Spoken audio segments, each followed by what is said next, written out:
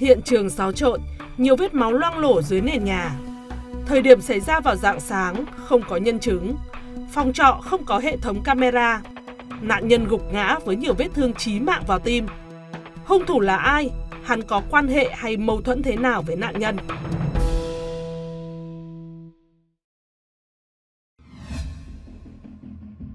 Dạng sáng ngày 9 tháng 4 năm 2020, Phòng Cảnh sát Hình sự Công an tỉnh Đồng Nai nhận được tin báo có một vụ án mạng xảy ra tại phường Long Bình, thành phố Biên Hòa, tỉnh Đồng Nai.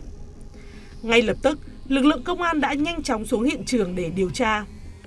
Bước đầu xác định, nạn nhân là Phạm Thị Bình Minh, sinh năm 2004, trú tại thị xã Hương Trà, tỉnh Thừa Thiên Huế. Minh là công nhân thời vụ của công ty trên địa bàn thành phố Biên Hòa.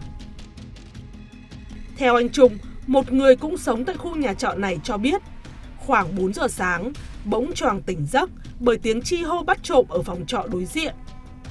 Sau phút bàng hoàng, anh Trung bật dậy, nhìn qua cửa sổ thì thấy một cô gái ở phòng trọ đối diện tên mình đang đứng khom người trước cửa phòng trọ, khuôn mặt nhìn ra hướng của khu nhà trọ.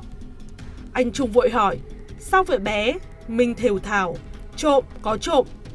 Anh Trung mở cửa, chạy ra ngoài đường nhưng không thấy ai. Khi anh quay lại thì thấy Minh gục ngã trước cửa phòng trọ. Lúc này, em trai anh Trung và anh trai Minh là Phạm Công Thành ở cùng khu trọ chạy đến đưa Minh đi cấp cứu tại bệnh viện đa khoa tỉnh Đồng Nai. Thế nhưng do bị thương quá nặng, mất quá nhiều máu, Minh đã tử vong.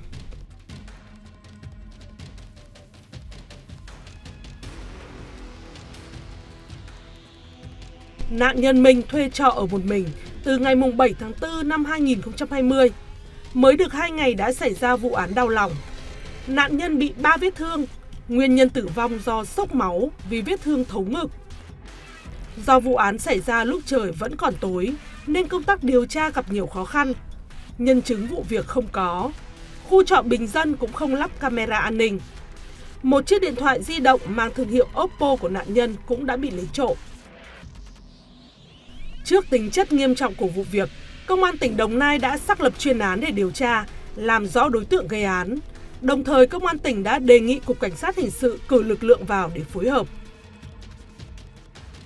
Lãnh đạo Cục Cảnh sát Hình sự đã cử một tổ công tác gồm nhiều cán bộ có kinh nghiệm của phòng trọng án vào Đồng Nai để phối hợp.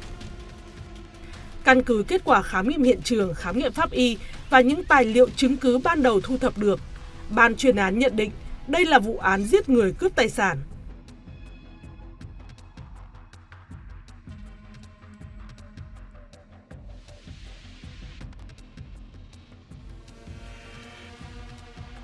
Nhiều khả năng đối tượng gây án thông thạo địa bàn, đột nhập vào phòng trọ của em Minh để trộm cắp tài sản.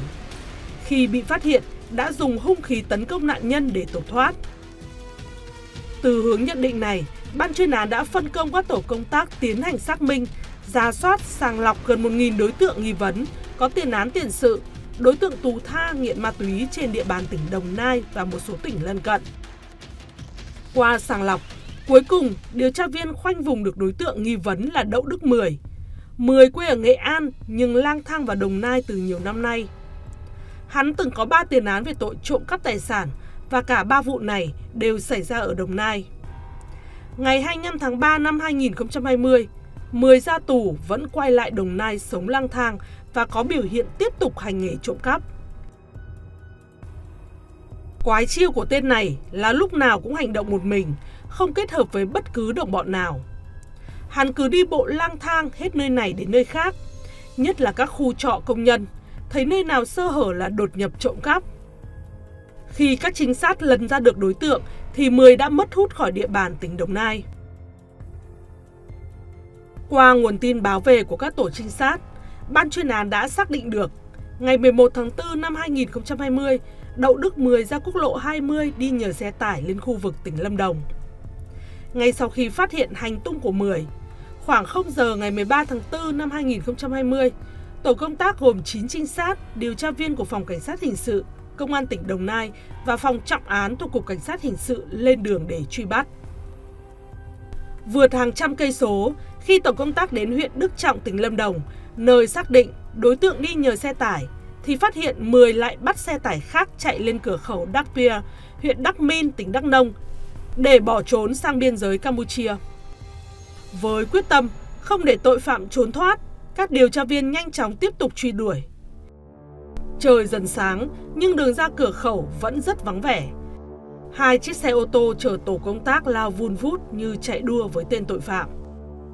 Chạy thêm hàng trăm cây số nữa thì tổ công tác lên đến cửa khẩu, một vùng rừng núi sát biên giới. Tại đây, tổ công tác phối hợp với công an huyện Đắc Min để giả soát, xác minh và phát hiện đối tượng 10 đã từng đi theo một chiếc xe taxi lên khu vực cửa khẩu. Sau đó y đi bộ lang thang. Thế nhưng, đến chỗ nào cũng thấy các trạm kiểm dịch của bộ đội biên phòng. Sợ bị bắt nên y lại lên một chiếc xe tải đi nhờ về thành phố Buôn Mê Thuột, tỉnh Đắk Lắk. Cuộc săn lùng tên tội phạm nguy hiểm đã trải qua hàng nghìn cây số, nhưng vẫn như một trò chơi đuổi bắt. Có lúc tưởng như sắp bắt được đối tượng thì bỗng hắn lại vụt mất. Đói và mệt, nhưng điều mà các trinh sát lo lắng quan tâm nhất chỉ là làm thế nào đuổi kịp và bắt giữ được đối tượng. Bởi với suy đoán của các anh, với sự liều lĩnh manh động của tên trộm sát nhân này, biết đâu trên đường chạy trốn, túng quẫn, y lại gây thêm tội ác. Đến khoảng 14 giờ ngày 14 tháng 4 năm 2020, tổ công tác về đến thành phố Buôn Mê Thuột. Không một phút nghỉ ngơi, các điều tra viên tiếp tục phối hợp với phòng cảnh sát hình sự công an tỉnh Đắk Lắk tiến hành giả soát, truy tìm dấu vết tên tội phạm. Cuối cùng, sau những nỗ lực không mệt mỏi, các trinh sát đã tóm được Đậu Đức Mười khi hắn đang sùm sụp chiếc mũ tai mèo, đi bộ thám thính các nhà dân ở khu vực phường Tự An, thành phố Buôn Mê Thuột. Đúng như dự đoán, quá trình chạy trốn hắn đã tiêu hết sạch tiền, đang tính toán để thực hiện một vụ trộm nữa thì bị bắt giữ.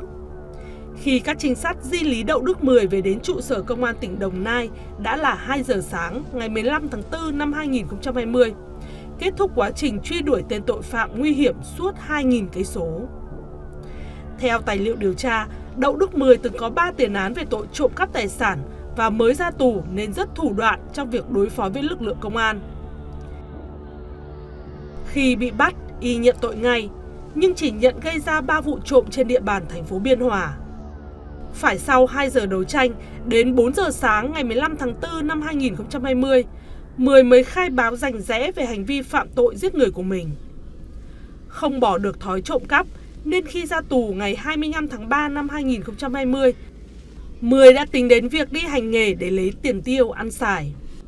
Vì thế, từ lúc ra tù đến khi gây ra vụ án, hắn đã kịp gây ra 3 vụ trộm cắp tại các phòng trọ thuộc phường Long Bình, thành phố Biên Hòa vào thời điểm nửa đêm đến về sáng.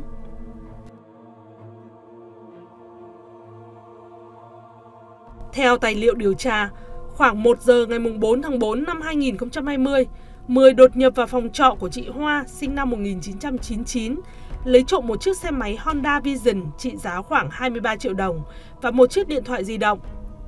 Sau khi trộm cắp tài sản, thấy nạn nhân xinh đẹp, Mười còn dùng hung khí khống chế chị Hoa và định giở trò đổi bại. Nhưng sau khi chị Hoa van xin hắn nhận ra nạn nhân là người cùng quê nên đã trả lại tài sản và bỏ đi. Dạng sáng ngày 9 tháng 4 năm 2020, Mười lại lang thang đến các phòng trọ để tìm xem nơi nào sơ hở đột nhập trộm cắp tài sản.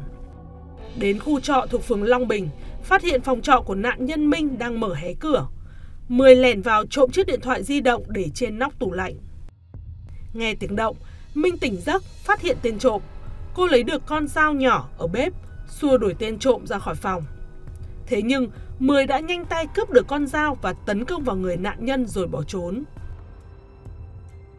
Về đến phòng trọ của mình, Mười bình tĩnh tắm rửa đi mua mì tôm về để nấu ăn, gói ghém quần áo vào túi, trả phòng trọ và bỏ trốn. Trong suốt quá trình trốn chạy hàng nghìn cây số ấy, vì đang mùa dịch bệnh không có xe khách nên Mười đã nghĩ ra một cách khá độc đáo để mua lòng thương của các lái xe tải. Tên trộm nói dối với các tài xế, mình tên là Long quê ở tỉnh Phú Thọ, mồ côi cả cha lẫn mẹ, sống với ông bà ngoại. Nhưng ông bà cũng mới chết nên ý lang thang vào đây để kiếm việc làm. Vì mùa dịch nên hắn không kiếm được việc làm, nên xin các tài xế lái xe tải cho đi nhờ đến Tây Nguyên để kiếm việc. Câu chuyện bịa đặt của Mười đã khiến các lái xe cảm động cho hắn đi nhờ suốt chặng này đến chặng khác trong hành trình trốn chạy. Ngày 26 tháng 2 năm 2021, Tòa án Nhân dân tỉnh Đồng Nai đã tuyên phạt bị cáo Đậu Đức Mười tổng hình phạt là tù trung thân về các tội giết người, cướp tài sản và trộm cắp tài sản. Tại phiên tòa xét xử, không có đại diện gia đình bị hại, cũng không có người thân của bị cáo. Các tình tiết của vụ án đã rất rõ ràng, nên phiên tòa diễn ra nhanh hơn thường lệ. Bị cáo dường như cũng biết trước về hậu quả mà bản thân hắn gây ra, nên vẫn bình tĩnh và không một chút sợ hãi. Chỉ đến khi bản án tù trung thân được tuyên, thì Đậu Đức Mười mới lý nhí nói. Tôi không còn đường về nhà nữa rồi. Mười kể, năm 18 tuổi hắn xin gia đình rời quê Nghệ An và Đồng Nai để lập nghiệp. Lúc đầu, Mười học lái xe và kiếm sống với nghề lương thiện. Thế nhưng, vì tiêu xài hoang phí, tiền làm ra không đủ ăn, nên hắn bắt đầu đi trộm cắp tài sản. Đến năm 2013, Mười bắt đầu ra tù vào tội liên tục. Sau mỗi lần được ra tù, Mười cũng về nhà thăm mẹ già và các anh chị ở ngoài quê. Không ai biết Mười đi tù về, vì gia đình mất liên lạc đã lâu nên cũng quen với sự vắng mặt của hắn. Lần ra tù này vì không có tiền nên Mười định bụng sẽ thực hiện vài vụ trộm cắp tài sản để kiếm ít tiền về quê chơi. Nhưng bị cáo không ngờ bản thân lại thành kẻ giết người và đường về nhà chẳng còn nữa. Gia đình chắc biết tôi phạm tội giết người nhưng có lẽ quá nghèo khó và thất vọng về tôi, nên chẳng ai đến thăm tôi dù chỉ một lần. Cuộc đời tôi kết thúc thật rồi. Mười buồn bã nói trước khi rời khỏi phòng xét xử trở lại trại tạm giam để trả giá cho chính tội ác mà hắn gây ra.